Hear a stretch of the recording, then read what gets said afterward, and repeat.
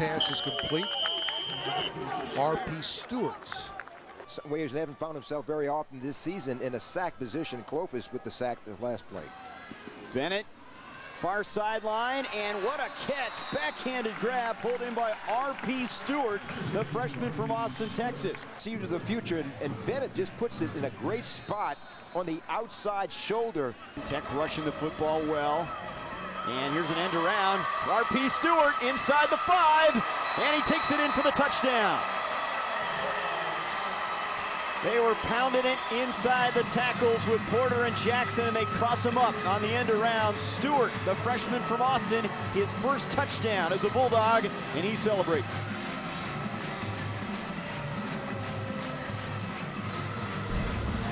And watch this block by Shane Womack. Stuart, a big strider, 6'3", but number 19, look, number 19 right there on the corner of your screen, the right side. What an... That's what you're looking to achieve. This is Beck. Actually, that's R.P. Stuart.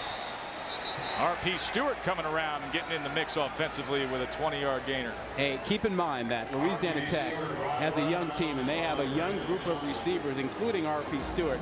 We've seen a couple of them tonight. So they have a future with some of this young talent.